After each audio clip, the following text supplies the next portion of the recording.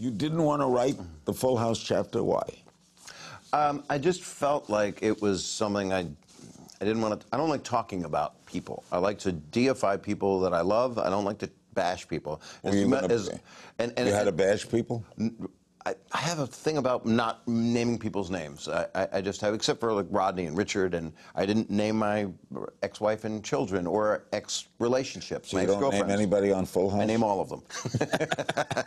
the defense What- rests. was- what- what- for a for a dirty comic who works dirty, but I'm not always dirty. No, you know, know. you've seen me at like, nice, clean things. but Full House. Yes. is so the opposite of you. Couldn't be cleaner. But I am part You're of a good father. Thank you. I believe that because of what they look like and because what they act like. So I know that I'm a good father, and they tell me I am. I love being a father. I loved. I had one baby when I got when I got got Full House.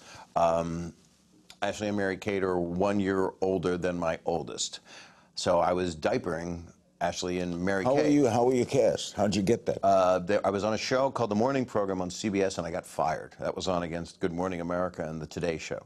And they said, Your, my chair was gone one morning. And, and That's the way they do it. My friend and manager, Brad Grey, said, Well, you know what? Um, they want you. And they did shoot the pilot of Full House with another gentleman playing my role. And uh, Dave Coulier and John Stamos had been cast already.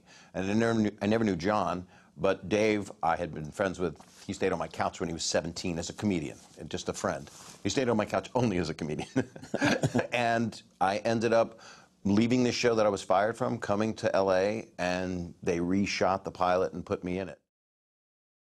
Watch new episodes of Larry King Now, Monday through Thursday, on demand on Hulu and Ora.tv.